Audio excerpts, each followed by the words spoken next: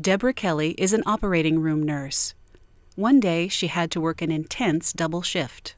So I had gotten overly fatigued, and um, anyway, the next day I had a migraine. I've had migraines before, it wasn't that big of a deal. Fortunately, Deborah made an appointment with her doctor. He suggested an MRI. He said it was a change in the headache pattern, and he scheduled the MRI, and um, I was very surprised to find that there was a tumor there. Her doctors referred Deborah to the University of Washington Medical Center's Neuro Oncology Center. So this is Miss Kelley. She's the Department of Neurological Surgery at the University of Washington is one of the largest academic neurosurgery programs in the nation. We have a group of people who have a very limited subspecialty practice who don't do other types of things. And so we have multidisciplinary teams like the tumor board for brain tumors where we have members that's all they do. That's all I operate on. You ready to go to work?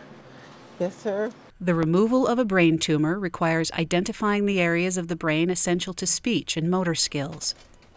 To do this, neurosurgeons at the University of Washington Medical Center use a technique called functional brain mapping. The patient is awake during the procedure so she can communicate with the surgical team. After surgery, working with the specialists at the University of Washington Medical Center, Deborah decided to go ahead with radiation treatments too. I prepared myself ahead of time that all I was going to do was find out what it was. The pathology was already determined a long time ago. And um, I feel encouraged out of all the tumors I could have. Um, I, we can work with this, you know, we'll go on.